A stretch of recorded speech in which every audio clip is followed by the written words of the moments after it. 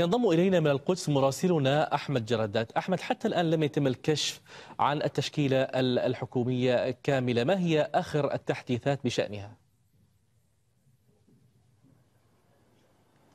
يعني تقريبا حسمت جميع المقاعد الوزارية والمناصب وتم توزيع هذه المناصب عدا منصب وزير الخارجية. حتى الآن لم يحسم وهناك على ما يبدو خلاف حول هذا المنصب ويترشح على هذا المنصب كل من إسرائيل كاتس وأيضا إيلي كوهن وكلاهما من أقطاب حزب الليكود. باقي المناصب الوزارية تم تقسيمها. نتحدث عن أن المتطرف إيتمار بن غفير سيكون وزيرا للأمن القومي. أرييه درعي المتهم والمقدم والمدان بتهم فساد والمحكوم عليه بالسجن مع وقف التنفيذ. سيشغل منصب وزيرا للداخلية. ومن ثم بعد النصف الثاني من ولاية هذه الحكومة سيشغل منصب وزيرا للمالية. إضافة إلى أن بتسليل سمودرش سيحصل على منصب وزارة المالية. وهناك المناصب الأخرى تم توزيعها على باقي الأحزاب وباقي الحركات وأيضا على أعضاء حزب اليكود. بعد حوالي ساعتين من الآن ستجتمع الهيئة العامة للكنيسة الإسرائيلي لمنح الثقة لهذه الحكومة. سيكون هناك كلمة لبنيامين نتنياهو وأيضا ليائير لبيد الذي سيصبح زعيما للمعارضة الإسرائيلية. سيتحدث إضافة إلى كلمات أخرى وبعد ذلك سيتم التصويت لمنح الثقة لهذه الحكومة. ولا نتوقع أي مفاجآت حيث ستحصل حكومة نتنياهو على ثقة 64 عضو كنيسة على الأقل. وهذا هو العدد الذي حصلت عليه الأحزاب في معسكر بنيامين نتنياهو في الانتخابات الأخيرة. من ناحية أخرى خلال تقديم بنيامين نتنياهو للوثيقة وثيقة المبادئ والخطوط العريضة لهذه الحكومة تم التركيز على الاستيطان الإسرائيلي وهنا لم يتم الحديث فقط عن الضفة الغربية بل سيكون تعزيز لهذا الاستيطان. في الضفة الغربية والقدس وداخل الخط الأخضر وتحديدا في الجليل والنقب وأيضا في الجولان السوري المحتل.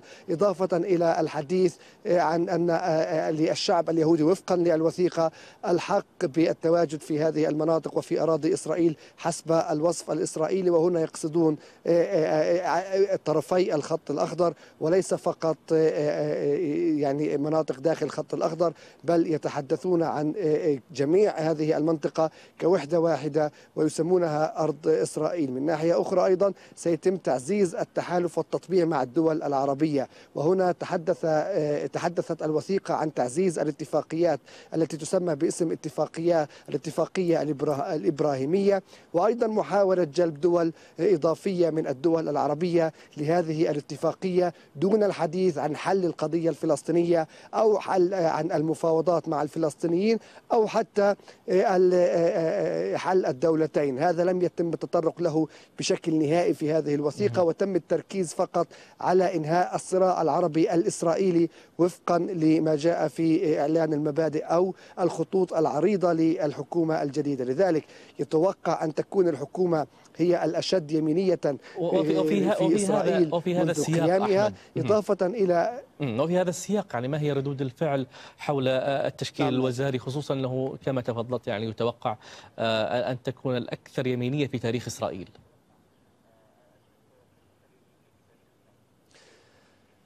يعني هناك اعتراض من الفلسطينيين على هذه التشكيلة. هناك توقعات من أن يكثف بنيامين نتنياهو من القوانين مع معسكره التي ستنتهك وستقوم بالتنكيد بالفلسطينيين.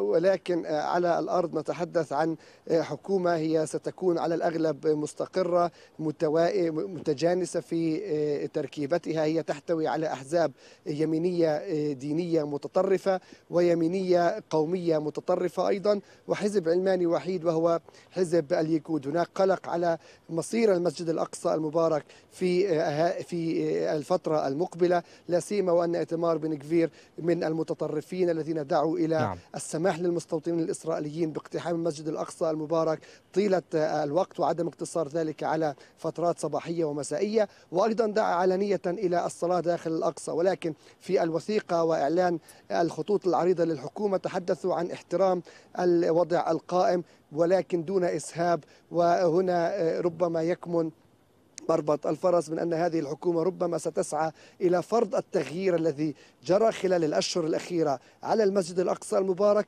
يبقى وضع قائم جديد. وهنا لا نتحدث عن الوضع القائم الذي كان بعد بعد النكسة عام 67 شكرا لك مراسلنا أحمد جرادات كنت معنا من القدس.